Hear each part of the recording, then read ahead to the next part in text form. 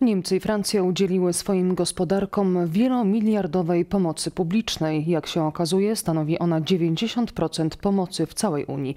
Taki podział może negatywnie wpłynąć na konkurencję na unijnym rynku. Pada pytanie, czy Komisja Europejska faworyzuje Berlin i Paryż.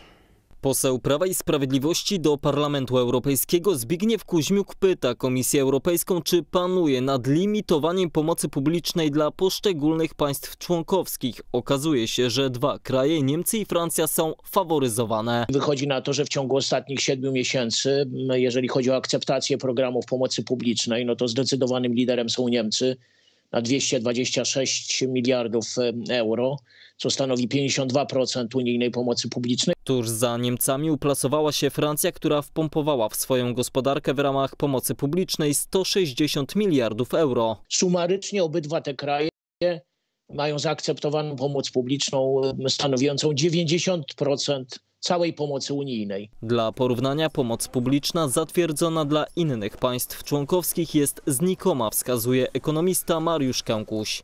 Jeżeli chodzi o Polskę, no to to jest 1,7% z tej kwoty 435 miliardów, Włosi 3,8%, Hiszpania 2,1%, Rumunia 1%, a pozostałe kraje to ta pomoc to są promile. Wprawdzie francuska i niemiecka gospodarka to dwie największe gospodarki w Unii Europejskiej. Łącznie odpowiadają bowiem za 40% unijnego PKB, ale pomoc sięga aż 90% pomocy publicznej udzielonej w całej wspólnocie. To zaburza konkurencyjność na poziomie Unii Europejskiej.